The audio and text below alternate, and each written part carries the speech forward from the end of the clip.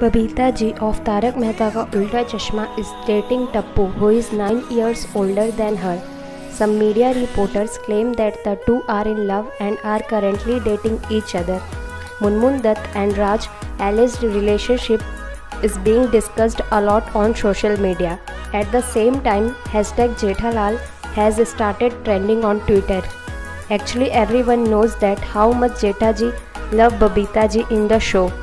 In such a situation, fans are telling through memes and jokes that how much it will hurt Jethalal to date on screen son Babita ji. Good morning, Jethaji. Chal chalana, good night.